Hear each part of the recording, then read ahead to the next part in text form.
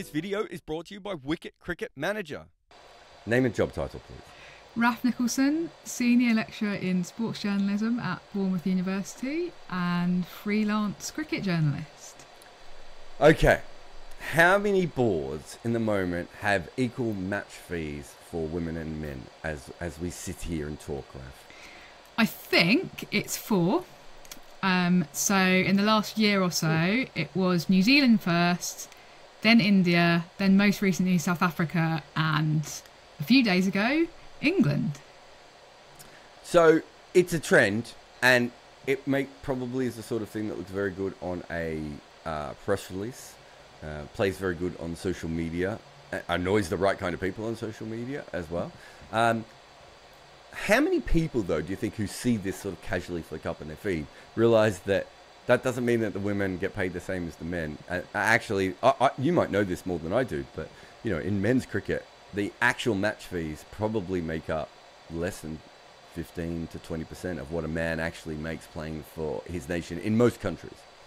Yeah, it's a tiny proportion of the overall earnings. Um, I would say a lot of people don't realise, and I think that there are lots of people in the media who don't seem to realise either, and um, actually kind of muddy the waters a bit. So I pulled out some of the coverage um, of the ECB's decision to um, introduce equal match fees for the women. Um, there was a tweet by BBC TMS which said men and women will now earn the same when they play cricket for England. Uh uh-uh. uh there was a, a Cricinfo um, headline that said England women get match fees hike to be equal with England men. No. um, and then there was some other various headlines saying England men and women cricketers to receive equal pay.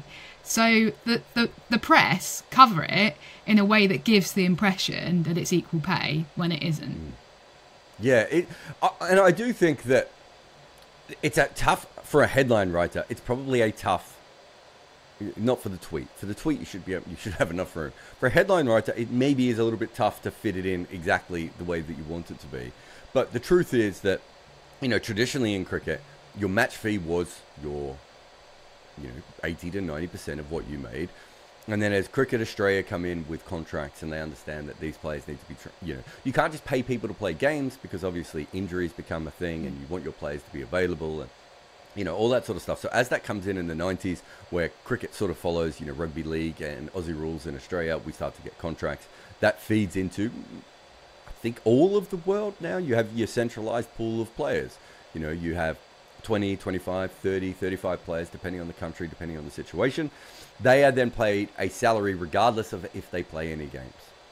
Right? And then when they play those games, they then get an individual match fee. So the players who are actually out there doing the, the job you know, get that. And you know, I, I think it was a, it used to be a thousand dollars per game for a West Indian player to play a Test match.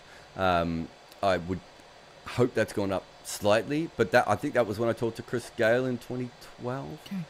Um, you know, I, I think it was a thousand. I have to go back, but it's there's a lot of countries that don't pay a lot for match fees, so it's that's not where as a cricketer you're making the bulk of your money. The bulk of your money is in the actual contract itself and that just seemed to be either ignored or and, and I'll put it to you this way this is a feel good story. And you might feel like and you and I don't feel like these sorts of people but other people might feel like a bit of a dick for going well England are actually trying to do something right here. And then for the rest of us you know people like you and me to go yeah but that's not where you make the majority of your money. So that's kind of a pointless thing. I do I think there would be some people out there especially that don't know about this who would feel more comfortable just going with the headline and going with the good news rather than going, uh, sorry, uh, sorry to shit in your cereal, everyone, uh, but we need to actually discuss this a little bit more.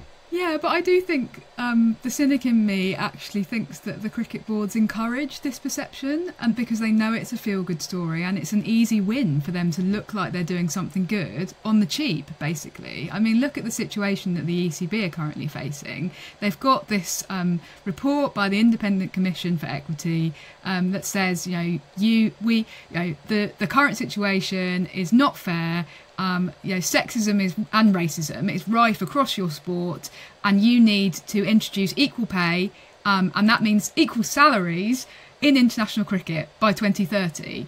And what are you going to do? And the ECB look at this list of recommendations and they go, right, well, that one's easy. We'll issue an apology. What else can we do that's easy? Oh, they've said that we need to equalise match fees, so we'll do that as well. But the really difficult call and the really um, the really difficult one financially is the actual overall equal salaries. So I suppose what, what my my cynicism about this is partly because I think that the cricket boards, the ECB, and others do this as a way of generating good publicity when it's easy for them to do. No, no, I agree. I, I, I think that's 100% what they did, and they realised that the vast majority of people who would be repeating this wouldn't understand what you and I know, um, and wouldn't look into it that much either, right? It, you know, it's a headline. You put it up in, on your site if you're a cricket aggregator, and, and you let it go. And we, we saw New Zealand do that. It's why I didn't cover it when New Zealand did it. I, I got a lot of questions at the time. People were very excited, and I was like, because if I do, I'm mean, I have to go into the fact that it's not as good as you think it is. Yeah. Um, and it's not what people believe it to be. And, and, it's worth stating that in the 2012 World Cup, and I believe this was the last World Cup that I'm aware of that this was the case, but in the 2012 World Cup, uh, the T20 World Cup, or what was it, the World T20 as it was called at that stage, that was a dual men's and women's tournament, and the women got a lower per diem um, than the men because we all know that women don't eat as much as men. They don't want to do their laundry as much as men. They uh, don't need uh, they don't need taxi rides as much as men. All those sorts of normal things, and that was that was in 2012 to show you how bad things were. But giving women the same amount of per diem, again, doesn't make a big difference. And of course, that was seen as a win at the time. But there are so many obvious little things that could be fixed. The match match fees is obviously one. But you did an article um, in the Guardian. You actually wrote it today, but who knows how long it will take me to get this episode up for people to actually see this. But um, you wrote an article in, in the Guardian today that said that the um, the umpires for the women's hundred get paid. Is it a, th- a, third of what the men get paid, or roughly around a third to yeah. a, you know of what the men get paid? I mean, you shouldn't need a th- hundreds of thousands of dollars spent on a report to work out that there's an er- error there. They're making decisions in that game, and you know that must, this this whole story must really hurt those people who say things like oh well you know women's game doesn't make any money and, and you know and, and the men's game makes more money so you know men's players should get paid more money. The umpires? The umpires? How is that not a universal fee if you're if you're doing a top level game? You know pay that test umpires more pay that first class umpires less you know it should be on a sliding scale Yeah. till you get down to development level cricket i've got no problem with that but how is how is umpiring in the women's game different to umpiring in the men's from a financial point of view? That doesn't make any sense. And also, if you're trying to get women into the game, is that not a cheap way of doing it? Like for me, that would be like, what? Are, no, what are you talking about? We've got you know all these women um, umpires over here, and they get paid the same as the men. Um, it, it's such a baffling decision, and and it isn't really a decision, is it? It's that years ago, someone just decided it didn't matter as a game, so they weren't going to pay as much for it, and no one ever looked at it again. Yeah, that's absolutely right. Um, and basically, what's happened is that the women's game in England is becoming more professional, but the umpiring structure has not caught up with that. So all of the full-time paid employee umpires of the ECB are largely umpiring in men's cricket, and so then um, a lot of the umpiring in women's cricket is by people who are kind of on part-time retainers, um, and they haven't they haven't quite the ECB haven't quite caught up with these changes um, that and you know the the suggestion the suggestion as you say that umpiring particularly in the 100 competition whereby um, you know they bang on about it being all about gender equality. And actually that's a really poor signal of how the measure by which you regard the women's games. It really suggests that i mean they're doing the same job. They're all on tv they all have drs it's exactly the same. Um, and yet the women, the, the umpires in the women's competition are paid less. And I think was it in your article you talked about was one of the one of the jobs was eighty pounds a day for umpiring. Yeah, so that's And in, someone I saw in the comments. Yeah, what what was that one? so what that competition was that is the ma- that's the fee you get if you umpire in a um, a 50 over Rachael Heyhoe Flint match, which is the women's professional 50 over domestic competition. So that's got to be very close to minimum wage, um, as someone else was pointing out. And then, of course, you have to probably travel that game. You're probably not going to be a local, uh, you know, umpiring in that way. I mean, it, it, it's it's such a it's such a weird way of looking at it. And, and to go back to the hundred, you know, the hundred was marketed as this equal tournament, and yet the you know the bottom pay for the women in the hundred compared to the bottom play for a man playing in the hundred is you know you're not if you if you're a woman in the hundred and you're the 14th best player in the squad.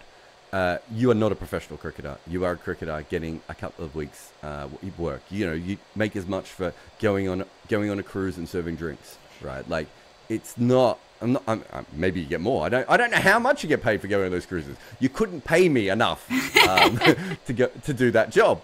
Um, but but but yeah. So you know, it, there's so many obvious ways that the hundred made made a mistake, but because it's umpiring, and also because let's be honest, and I say this all the time. P- people still complain about the, you know the top level men's umpiring, and I was like, you need to go and watch a first class game. And the other thing I say is you need to go and watch a women's game. If you want to see crap umpiring, it's not happening on the international panel. There are some umpires who are better on the top of the international panel, and it's a tough gig, and we go over every individual decision. I mean, there was a there was a run out in the Women's World Cup in 2017 that was uh, the mistake was made, and it was about a 40 centimeter mistake, right? Like, and they didn't have DRS, of course, because uh, they didn't need it for that particular tournament for some reason. And like, you just that's just a mistake that just probably wouldn't happen at the top level of cricket. Even now, they don't give the, um, the, the decisions anymore. Some of the umpiring that you see at women's cricket, and it's not just women's cricket because it is first class cricket. It's some of the lower T20 leagues. Uh, you know, I've seen some very good A A A level umpires at times where I was like, oh my god, uh, does this person actually know the laws that they are supposedly proceeding over here. But there's no doubt that there is women's cricket um, uh, women's cricket umpiring is something that is a long way behind where it should be. I think that's right, but um, I don't know if you've come across Anna Harris, who's one of the kind of up and coming young umpires in women's cricket in England. Um, apparently, either last season or the season before, one of her first seasons umpiring in professional women's cricket, um, they do analysis of the umpires' performances across the whole season, yeah. and she was top of the um, of all umpiring in England. Mm. And she, but she's on one of these part-time retainer contracts. Um, and so it's oh, I, it's nothing saying, to do. I'm it's nothing saying... to do with the, and it's also nothing to do with the gender of the umpire, but it's no. just that there are less opportunities for women umpires. And the other frustrating thing but about I'm not saying that women that, umpires yeah. are, are, bad. I'm saying that the umpiring quality in women's cricket, yeah. whether it be men or women's, and of course it's bad. Because if you're if you're a good young, especially if you're a good young male umpire, let's forget the women umpires for a moment, which, which is a whole separate. If you're a good young male umpire, why on earth would you not be trying to get to the men's game where you could actually do this professionally? Yeah, well, that's what I was just going to say, and that's because the sit- the setup that we've got at the moment is somebody like Sue Redfern um, can only become yeah. a professional umpire if she says, "Okay, I'm going to umpire in lots of men's cricket." You can't be a professional umpire in women's cricket at the moment. Um, a bit like you can't really be a full time professional journalist in women's cricket at the moment because it doesn't pay well enough. But anyway, that's that's, that's an aside. Um, the the money is also all true. the money is all in the men's stream, and that's the structural inequality of English cricket. And I'm assuming it's equally the case in other countries around the world. So that's the frustrating thing. And the ECB say we want more women umpires, oh, and also we're going to filter them into umpiring women's cricket because role models, all of that. Now I get that, okay, but what you're effectively saying then is that all of the women umpires are going to then, for the for all of their umpiring careers, be subject to worse pay and worse conditions. Yeah. Well, and, and also, do you remember the, the, the last World Cup they decided to have um, all women panels, and and again it goes back to the equal pay um, PR. Oh, that's great press. But my first thing was, have we been training these women correctly on DRS? Are these women already, are they experienced umpires? Or are you going to have a worse quality of umpire because you haven't been pushing any umpires and then suddenly, as a show that you're on side, um, you're going to uh, promote them all? You, you're putting them in a position to fail. And yeah. if you're a part time umpire, that means you actually have to do other things. Whereas Sue Redfern is in a position as a professional now where she can actually travel the world.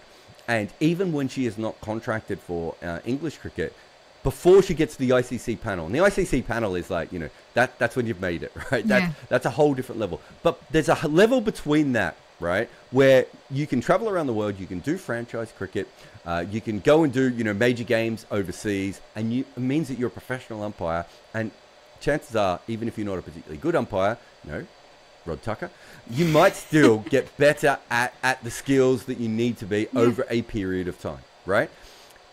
They, they, they're not in a position to be able to do that if you're a part-time umpire and you're not at that level where you're being recognized. So the, the whole system doesn't really make any sense. Let's forget about the umpires for a moment because no one wants to talk about them um, uh, let's let's go back to the professional women's cricket. Yeah. So, I, I I would assume, and you can correct me if I'm wrong, but I would assume that the first ever professional women's cricket league is what we call the Reds versus Blues. I think you've even been on this podcast talking about it before, but essentially, some random French American entrepreneur realized that if he put a bunch of women on a cricket ground uh, uh, together at the same time, he could bring people into the, the games. The sad thing is, he was 100% right but he didn't really go out and get the best cricketers. Um, it wasn't. It wasn't like me. Um, uh, what, what's um, what's the movie in in America? with The baseball movie with Geena Davis and everything. Is it was it like a Field of Dreams? Is that it? no, that's the that's the men's one. There's a woman's one. Uh, everyone, everyone,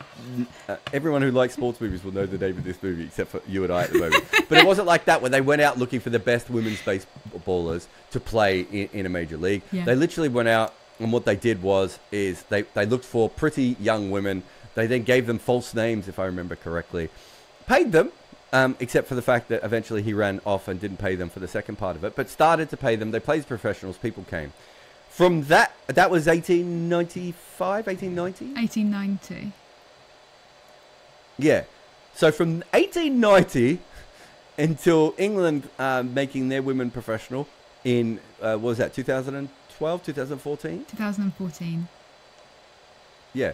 Between that, Raf, could you tell me a brief history of professionalism in women's cricket and uh, if there if there was any? Oh goodness. Um, I'm just trying to think. I don't. I don't think there was. Um, and, and I know that there's going to be people screaming at that um, now, going, "Oh yes, there was." Um, yeah. There, I reckon there would have been games where there was match receipts, right? I think that would have happened on occasion, don't you think? Like, um, Oh, okay, I, know so- there's that famous. Wi- Yeah, I have thought yeah, of yeah. like occasionally. yeah, but I can't. Im- there certainly wouldn't have been anything beyond that. But I'm sure there would have been occasions where women got together a and played a game. You know, there's that famous women's team from rural Australia that was famous in in, in Warrnambool that t- people would go. They probably got some of the match re- receipts, although it might have gone back into the club. I, I don't know. So there were stuff like that. So you must have one one or two of those.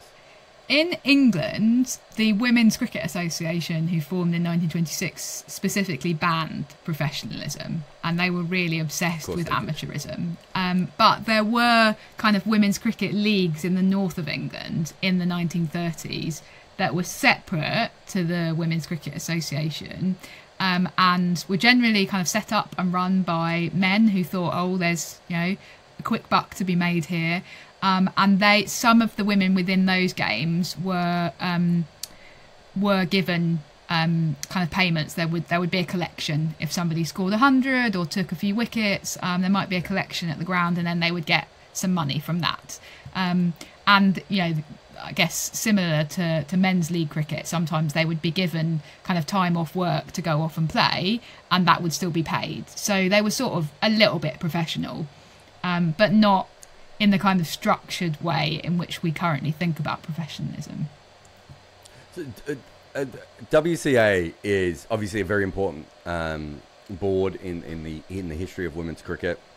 It ends up being the one that runs the first World Cup, not with their money, of course, but with someone else's money. Um, but but essentially, correct me if I'm wrong. Women's cricket, especially in England, um, and I think it's a bit like this even outside of England in into the 70s, 80s, and 90s.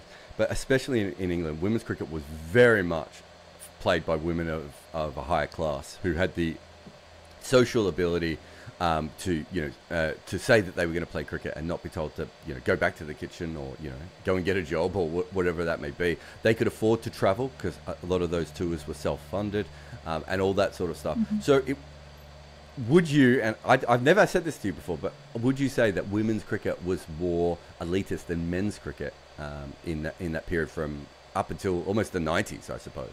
Yeah, I think so. Um, one of the things that I say in my book, Ladies and Lords, um, plug for that, by the way.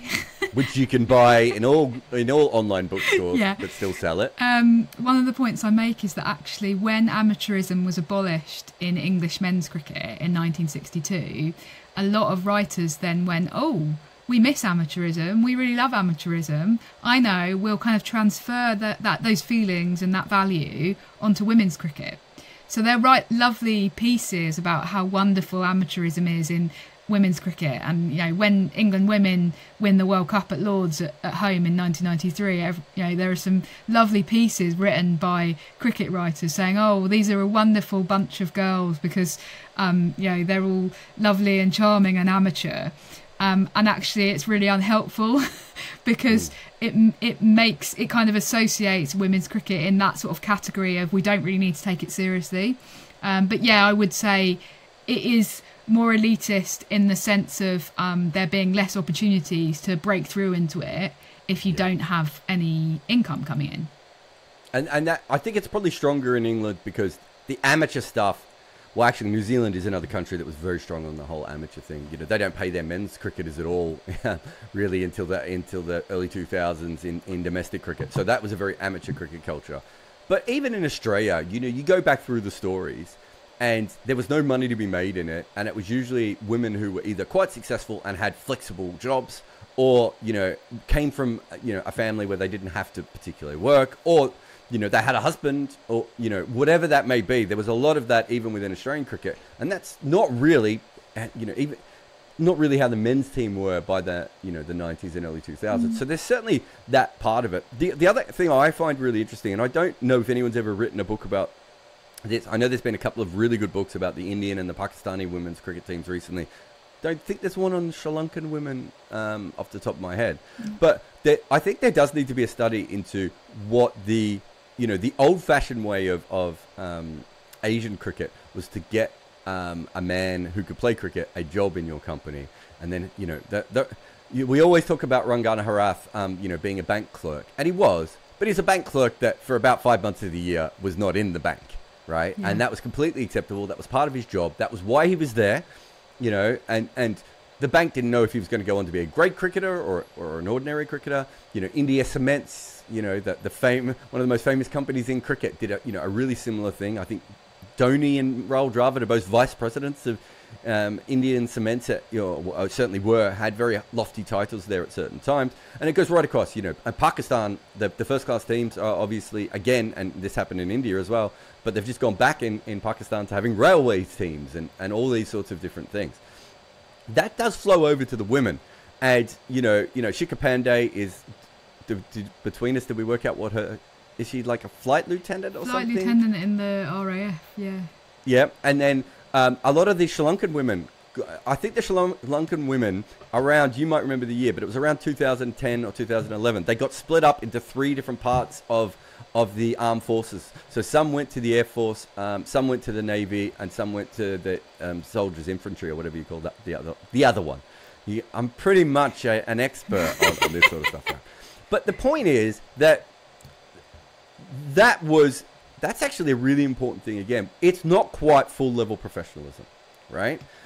But it does mean that they, they were getting paid, they could train. There was an understanding from their bosses at times that, you know, that they would be putting a lot of their time into cricket. They would have to disappear for games.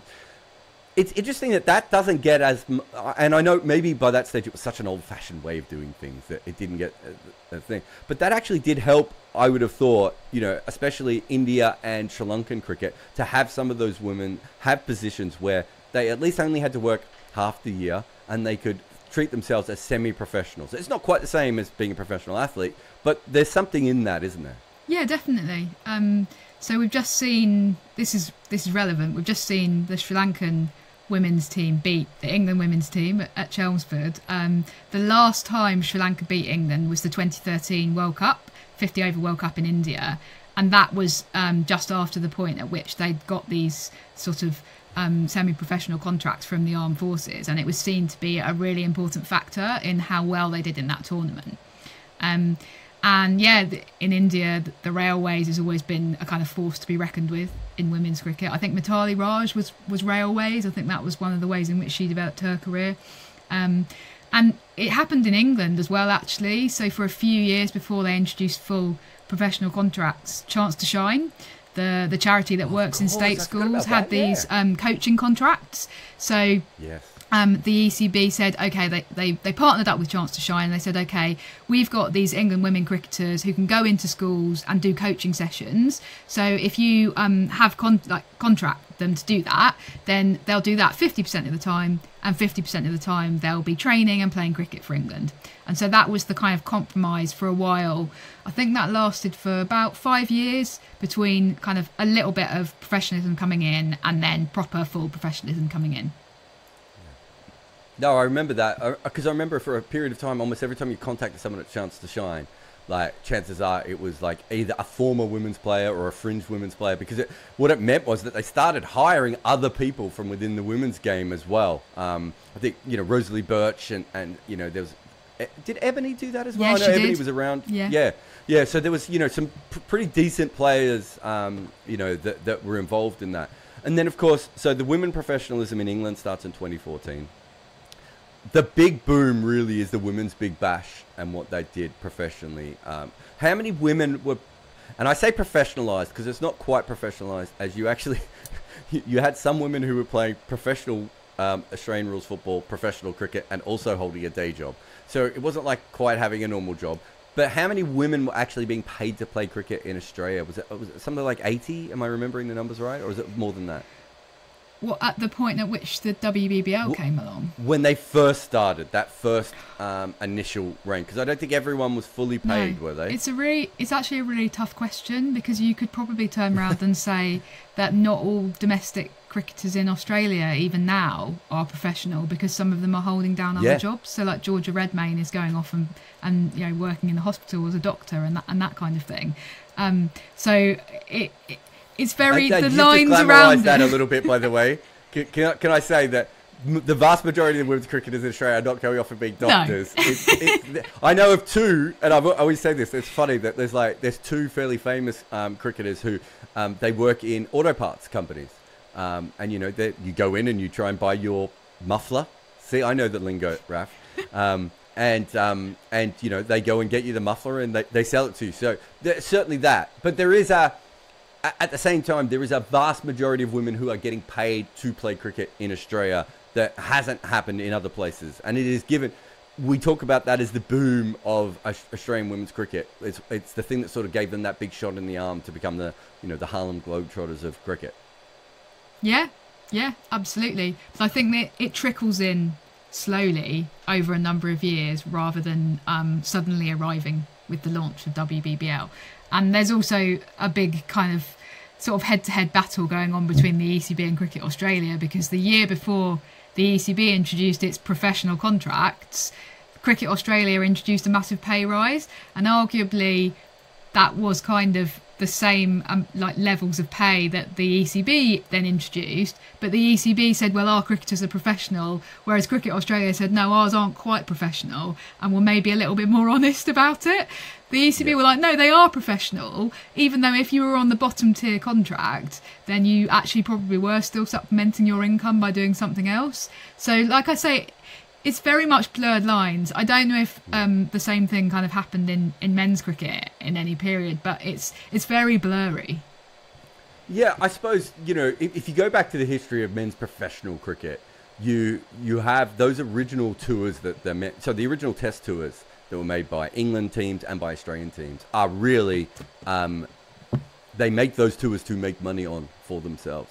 So they are they are professional cricketers, but it's more like an entrepreneurial thing. So when the Australian team get together, that's more the famous one of they all chip in um, some money so that they can get over on the boat and, and that someone organizes it and you know to pay the team manager and everything else. But then at the end of the tour, they split up all the money um, and go back. So you know you're not they're not pro, it's not a professional structure in the way that we Yeah. would see it now but they found a way of making money of it. But then if you look at after that, what happens is that they are paid match fees, they're not given contracts, You don't know if the Australian team's going to pick you, and so you're largely amateur for the next 70 or 80 years, unless you go to England to play cricket, and then you you might play in a league or in, um, and eventually in county cricket as a professional. Um, English cricket has the they have the the count the, the county um, system, which I believe I'd have to go back through, but I don't think that was contract. That was you, you, you got paid to play. You played so many games a year. You obviously got paid to play in, you know, uh, you didn't just get paid to play in like the main county games. So you would play in, you know, Yorkshire might play, I don't want to say a local bank, but Yorkshire might play a minor counties or there might be another kind of game. So there was all sorts of other ways that you could make your money all the way through. But then in the off season, all those people usually had another job. And traditionally, if you weren't a major uh, county player either, you probably had another job while you were a county player, right? So, mm. you know, that's the stories of, of the England bowlers, like literally walking out of the mines in the morning, going down, putting their bowling boots on, bowling, um, and then, you know, going back and doing an early shift in the mine the next morning. So, men's cricket really doesn't become what I would say professional. We have little, little professional pockets in it that people are making money, Raf but it's not particularly going to the players. Yeah. So you know, uh, t- uh, well, MCC are certainly making a lot of money. Um, they seem to still do okay. Um, you know, Cricket Australia start to make money. Some of the other smaller boards start to make little bits of money as well. But that doesn't flow on onto the players. So what that allows for is for the Rebel Tours, for Kerry Packer, for someone like Julian Khan, but even for the league cricketers. So the West Indians you know, the famous Garfield Sobers story is that Garfield Sobers was going to play league cricket over the West Indies because he got paid more to play league cricket than he does did in the West Indies. Mm-hmm. And even if you go back to um, Sid Barnes, Sid Barnes was in a uh, position where he he he got paid more to play league cricket than he was playing county cricket. And so if you have a look, he doesn't play a lot of county cricket. So it's it's really scattered, and who gets the money is is is a little bit dodgy all the way through in Asia, as I said, you have this thing where you eventually you get paid to play for a company or for an organization, um, and then so you're not. It's not like those guys were suddenly rich or, or anything in that way, but they they had that little bit of money. County cricket, you have it, but you only have it in for one half of the year, so you're not paid all that much money, and you're not truly a professional. Then the big boom comes in. I would say really the early '90s when Australia, the Australian men become uh, contracted all year round. County cricket obviously follows that. Then most of the international teams in the world over the next 10 to 15 years follow that. The money starts to trickle down to first class cricket. So the New Zealand players went on strike, Raf, in first class cricket in New Zealand in 2001. But technically, it's not a strike because they'd never been paid before. Um, so they just stopped playing. um, so that they could. So it tells you how late it was. That you could be the 15th best player in New Zealand and not make any money for your, your, your first class cricket in New Zealand at that time. So it's not as if men's cricket had money, but because of the league system in England and because there were, you know, you could play club cricket in Melbourne and, you know, get some money and club cricket in Sydney and get some money. If you were a good cricketer, there was a chance for you to make a little bit of money in, in random ways all around, um, all the way through. Whereas in women's cricket, it does feel like until the board sort of got uh, got involved, there wasn't really a way to make any money at all, even if you were one of the best women's cricketers in the world. The only way would have been very occasionally there would have been little sponsorship deals. But I would have assumed you would have had to have been Zoe Goss or Rachael Heyhoe Flint to probably get any money off off any kind of sponsorship. And even then, it wouldn't have been enough to make you feel like a professional. Uh, that would be fair, wouldn't it? Yeah, definitely. And the Women's Cricket Association again were really against individual sponsorship deals. Um, so they actually had this big falling out with Rachael Heyhoe Flint about that, who was trying to get more sponsorship, um, kind of, and and trying to actually introduce this idea of um, giving a bit of payment back to the players and and divvying up divvying up pots of money that she brought in via sponsorship um, amongst and th- the that's players. quite a big deal as well yeah. because she is she's a Tory peer. Uh, she's almost the face of what amateurism would look like and even she's saying we have to actually start to pay these players. Where that's you know there are certainly men who who believe that as well, but there are lots of men who played the amateur game in English cricket were more than happy to, you know, that for the for the working players not not to get looked after. So it's quite a big deal for your most famous cricketer and a cricketer from that privilege and background to be trying to actually professionalize the game, but I can see why it would not have worked as well. Yeah, I mean, yeah, it's it's a really interesting one politically when you think about where she ends up. Um, yeah, as you say, being a Conservative peer in the House of Lords, this is actually quite a socialist system that she's trying to introduce into English women's cricket in the sort of late 1960s, early 1970s. Um, and there isn't an awful lot of money knocking around, but her her view seems to be that the money that there is should be um, should be distributed actually to the players rather than the WCA retaining it all in in a pot um, to then kind of uh, distribute as they as they see fit. So it's, it's an interesting one. Yeah, her her views are maybe a little bit internally inconsistent politically. Yeah. Now, so we're at a stage now where you know the term equal pay is being talked about a lot in in women's cricket, and we both don't think that this is anywhere near uh, equal pay. Is a PR statement as much as anything. But I think we both agree that it's a, a step in uh, again in the right direction, and maybe by t- the year 2030, I, I, that feels a bit optimistic, um, Raf. But uh, you know, England cricket or maybe another cricket board will be the first one to make sure that the men and women are paid equally. That's going to happen bit by bit, right? That's not going to happen in one big thing. And you know, the other, the other, of course, huge talking point, which we can barely fit into this podcast, would be that by the time 2030 comes around, cricketers will probably be paid a lot more to play in franchise cricket than international cricket anyway.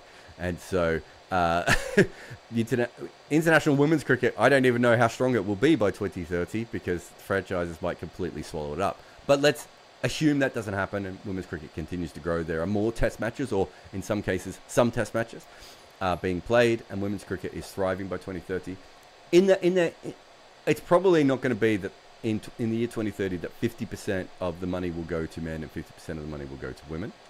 And that that will take a while to get to anyway. Let's say tomorrow i gave you 25% of the total um, player pool salary to divvy out to women's cricket right?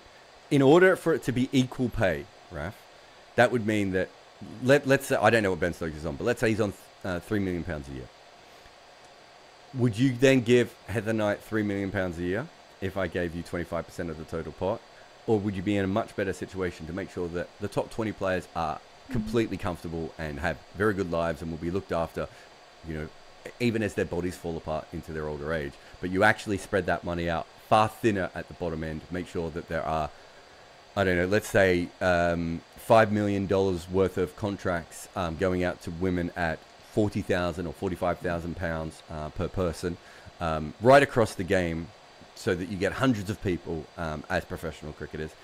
Is that not a better use of money as it trickles into women's cricket in the short term than making sure that the top women are paid the same as the top men? It probably is. I think there are arguments on both sides. Um, I think some of this is around like the symbolism and the messages that we're sending out um, because currently the message that we're sending out to everybody is that Ben Stokes is worth, um, you know, ben, that what Ben Stokes does is more important than what Heather Knight does. And I really dislike that message. And I think it's really important we try to combat that. And that's where your equal pay comes in because you think, well, we need to actually send out a message that what they're doing is of equal value. Um, but the way I see it, we should be paying Ben Stokes less and paying Heather Knight a bit more. So they sort of meet in the middle somewhere. And then, yeah, I do think that, and and to be fair, Heather Knight would probably agree because she's been, um, you know, somebody who has been vocal in and saying what we need to be doing is setting up a sustainable pathway for, um, you know, the the England women cricketers of the future, and that involves putting more money into the the women's professional regions, and it involves putting more money into women's club cricket as well. So you've got that system coming through. Um, so yeah, probably the first thing that I'd do if you gave me that money is say, okay, we're going to make it so that each of the eight women's regions has a full um, a full cohort of domestic professional women cricketers. So I guess that would be 15 per team. So yeah. 15 times eight. You do the maths. I can't do maths. Um, yeah. so I'm that's not going to do the math. So that's what you. So that's what you. That's what you would do with the money first. Um, and uh, yeah, I don't think that we want to end up in a situation where the England women's team are earning stupid amounts of money, um, whilst people underneath them are, are, struggling to to pay the rent um, or to pay the electricity bill or whatever. Um, so it would be it would be better if we could follow a more sustainable model in women's cricket than the one that's being pursued in men's cricket. Um, unfortunately, men, uh, women's cricket is run by the same people who run men's cricket, so it will probably end up they'll make all of the same mistakes with the women's game that they have with the men's game. So I'm afraid we're back to separate governance again, which is a, a policy dear to my heart. Anyway, that's for another podcast, Jarrod. No, no, no. I'll, let's let's finish with that because I think you know that I believe in separate governance for almost everything. So I don't think that the same people who run Test cricket, although technically no one runs Test cricket in, in the men's game, but I don't think the people who run the Test cricket should also be running T20 cricket, and the people who run ODI cricket um, should also be running um, uh, Test cricket and, and T20 cricket. And it is the same with the women, right? You know, there's no doubt that the ICC played a part in women's cricket getting bigger over the last, you know, eight to ten years. But there's also no doubt that uh, the ICC came in when women's cricket was already on the rise um, and was already a much more viable option because of all the work that women's cricket had done beforehand. If you separated women's cricket out completely from men's, right? If you had an, a WTA type situation, surely there is enough money now in the ICC events, right? And franchise events, um, and and everything else. So if you had, if you had a tournament, uh, if you had a system where international cricket was run by uh, a women's version of the, uh, the w, let's go back to the WCA, right? Just to, to use that name for a moment. So WCA run all the women's cricket internationally. I know they weren't international board, but just go with me for a minute because it's easier for me to say it. If the WCA run all of women's cricket, they could also be the um, in charge of licensing all the individual tournaments. They could oversee the tournaments. They could provide the umpires. They could do what the ICC does for that. There would be a huge amount. I don't know how much women the Women's Cricket World Cup is currently worth, but it's probably worth you know 200 to 250 million uh, dollars over a five-year period at the moment you know, especially as you'd fit a few more. You might, Women's Champions League, and you know, Women's League League, and all these different things that you, you, you could put into that. That actually would be a situation where um, the equal pay thing then it becomes completely separate, right? And uh, you know, then then it's up for the women to actually make the money themselves and to do that on their own and to look after the, themselves. The problem with the majority of all administrators in the world is they even even as cricket becomes more diverse, the majority of the cricketers, uh, cricket administrators in the world are always going to come from a male cricket background because that is where the money is and that is where the political power is, right?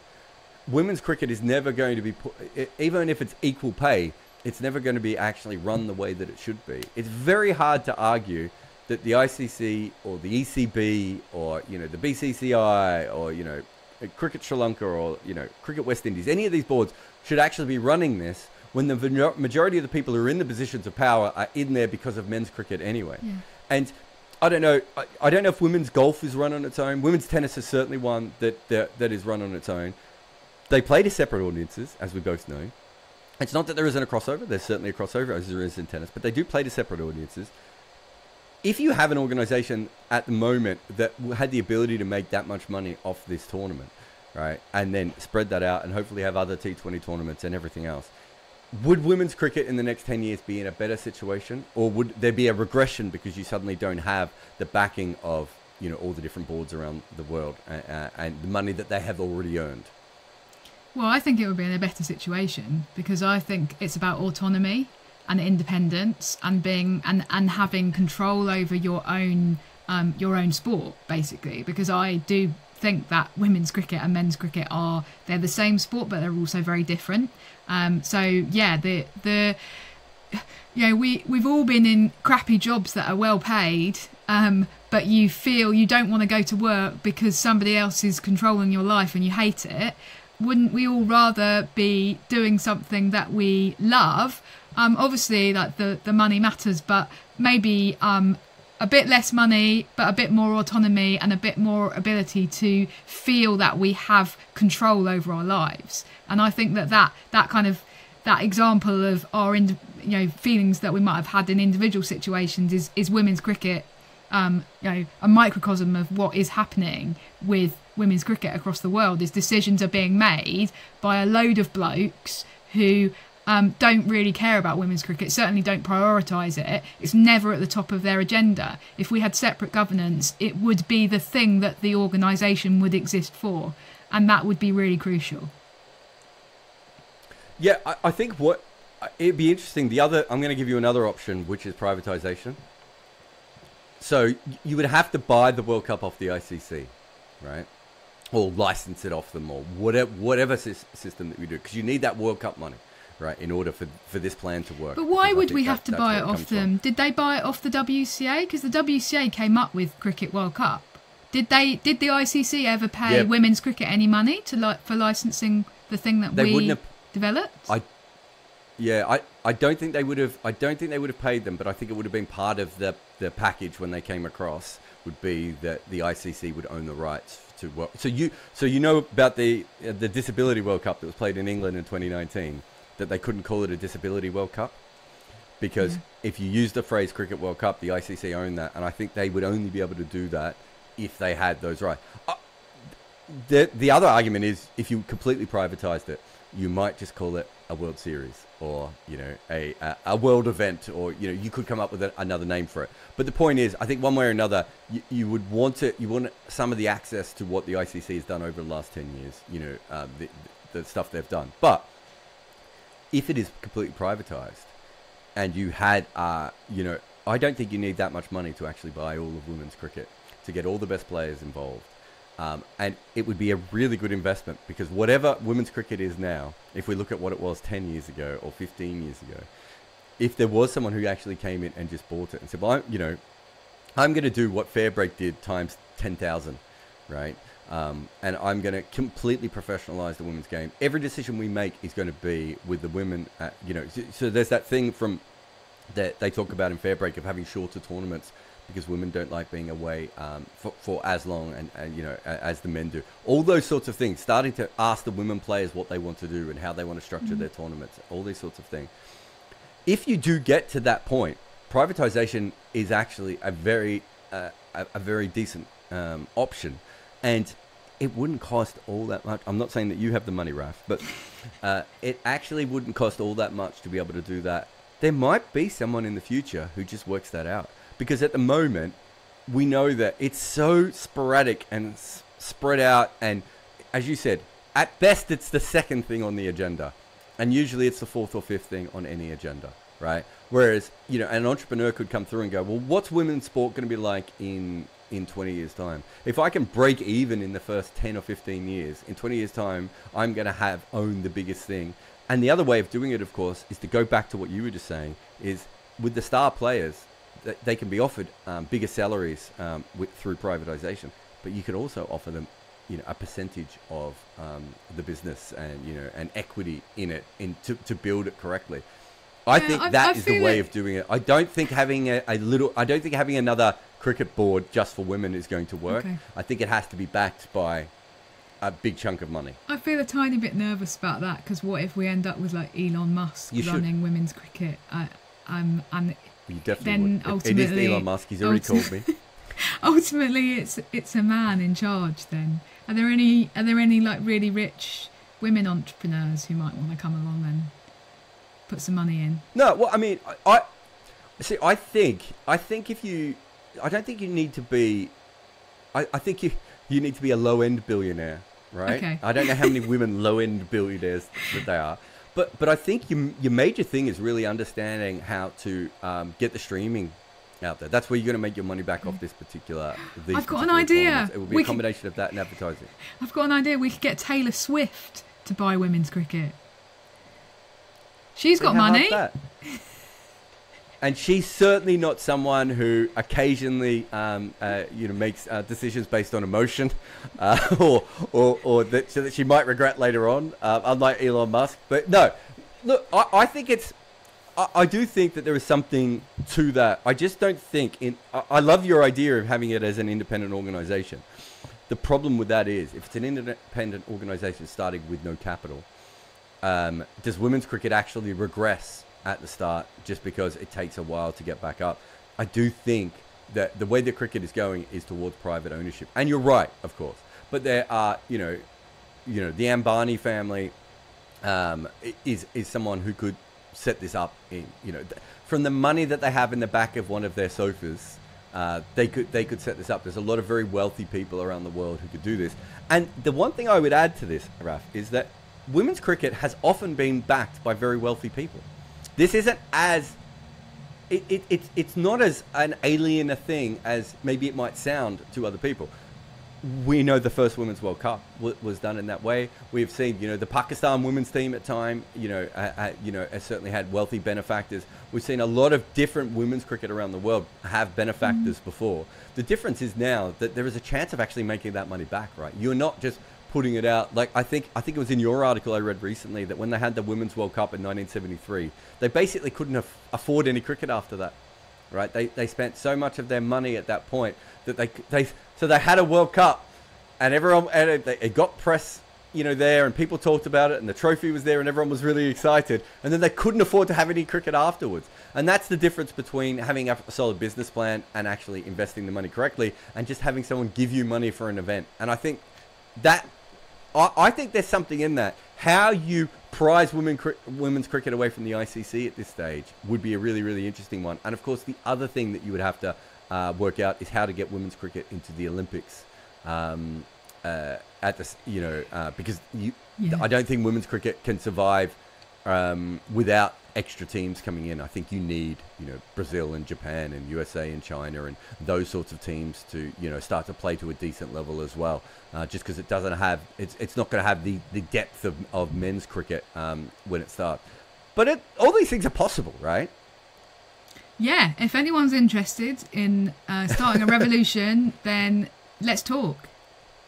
Email Raf directly. Uh, the, the, thing is that I, I think I know you well enough, Raf, to be like, if a billionaire did contact you, you would fear, you would instantly distrust everything about them, um, and and and and uh, undermine your own genius uh, by by not being happy with what they do. Which would be, I would actually, I now wish that this happens to watch the mental anguish that you would have to go through um, to, to try and be on board with this, but at the same time be like, should we really be getting them to wear skirts again? Are we sure we are we sure we want to go back to the skirts? Uh, you know, uh, do we need a calendar? I don't think we need a calendar of the women's players. Uh, but uh, the, I, I think it is fascinating. But the whole thing with women's cricket and, and, and professionalism you when when did you start writing about cricket? Around 2014, 15? Was it around? Then? A little bit before then. Uh, I started my PhD in 2010, and I was starting blogging about 2012. Even for all the negatives and, and, and, and us talking about that, I think if in 2010, if you were to have sent a uh, a um, a text message back then, wouldn't it? It wouldn't have been WhatsApp. Uh, you know, uh, if you'd have sent yourself a text message at that stage, say into the future, saying in 2024 the women and the men will be paid the same amount to play a game of cricket for England, not the same salary overall. What do you think? You, you know, uh, well, actually, you'd have to send it back from 24 to 2010, wouldn't you? Wouldn't be sending it in the future. But if you were talking to your 2010 self, I still think you would have to say that this is a massive. You would have thought at that time that that would have been almost impossible, and that it would have felt like a massive step forward, even if you would still have been a very. Oh, you would have been younger then. You might have been slightly less cynical. I don't know, but it's still a it's still a huge step towards um, something that you've probably hoped for the majority of your life. Yeah, definitely. I mean, in in the ECB only introduced the concept of match fees for the England women's cricket team in 2011, so we've we've travelled a long way. But obviously, I say this all the time: the balancing act between what I do with my life is to congrat be um you know grateful or pleased for the progress that has been made whilst also going no i'm sorry we're not going quickly enough. Can we speed up please that would it, it's funny because you do that in the women's game and i think that at a certain point i do a similar thing in the men's game which is uh, yeah especially when it comes to the governance uh, of, of, the game and occasionally something good will happen and people will be like look this thing has happened and I, i'm like yeah but it could have happened 30 years ago. Um, and, you know, and, and, and it's happened, but it's actually, it's probably more of a ceremonial thing and actually won't make a big difference. And, I, and I feel that, you know, you and I are sort of trapped in this, in this thing of, it is better than when both of us started and things are moving in the right direction and we can be happy that, that certain things, I mean, we have a, an umpire who's a woman who is respected enough to travel around the world and umpire, right? Like things have happened, but we still don't have, you know, a, a, a woman head coach of, of a men's team, right? Like we, we still don't have, um, uh, we still don't have the kind of, you know, basic structural things when you look at cricket boards in the world of having, you know, lots of women involved in, in the actual decision making and, and all those sorts of very basic things. But, you know, as a historian of the game who, you know, knows what used to happen, still a lot less shit than it used to be, but it's still a little shit. And that's the new tagline for the England and Wales Cricket Board. Thank you for coming on the podcast. Thanks, Jarrod.